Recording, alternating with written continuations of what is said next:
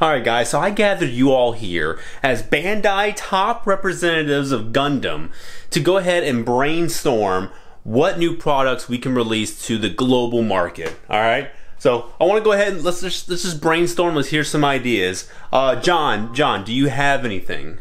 Now you know how Gundam Battle Gunpla Warfare is extremely popular right now, right? So we take the Gundam Artemis, the lead suit from Gundam Battle Gunpla Warfare, and we don't make that a model kit.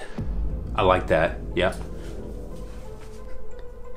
Instead, we make something that looks just like it, but with freedom wings. Oh, that's brilliant. Oh, that's brilliant. Love it. What, what else do you have? Come on, give me something. Now, for another idea, you know how the Western audience loves Gundam Death Scythe Hell from Gundam Wing? Well, we're not going to release that. Instead, we're going to release a custom with an absurd name. Look, look, how about this? We each just say a word. We just, whatever word comes to your head, and that's to be the name of the Gundam. Go. Uh, Liv. You. Um, Lance? Haven. Bam. That's the name. Oh my god, bravo. God.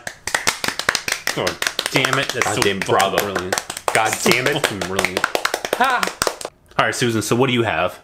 Oh, trust me, I got plenty of ideas. But before we get into that, my toes have been itching, and this ointment, on God, just does not work. Does anyone have any recommendations for better, like, ointment? Wait a minute, you might be onto something.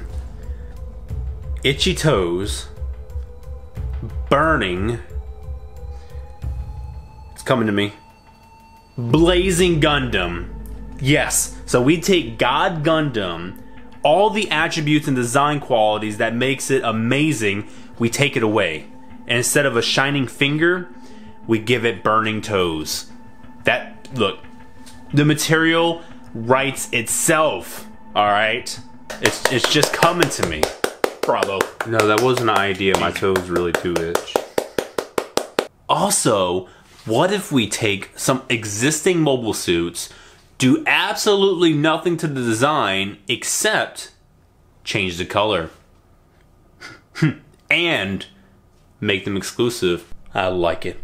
I like that. That's that's actually pretty good. Okay, so here's an idea for all of you. You know how everyone's completely sick and tired of Gundam Seed, right? Let's combine two of the most popular Gundam Seed mobile suits, and we don't do much to it. We just change maybe the backpack. I call it the perfect strike freedom.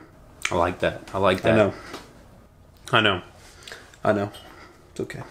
Now, I have been having someone sit at the table with us just to kind of, you know, gather in the ideas and just assess them, give us some critiques. So let's go ahead and hear from him. Mr. Krow, you have the floor. I, I can't believe what I'm hearing. These are some of the worst ideas I've ever heard. You have a master grade Age 3 and Age FX prototype at the ready, and you're releasing these? What? What? Who is this guy? You want me to get him out? Look, look come on. Let's go. We're, get, we're getting you out of here. Wait, what are y'all doing? I'm right. Look, no, come on.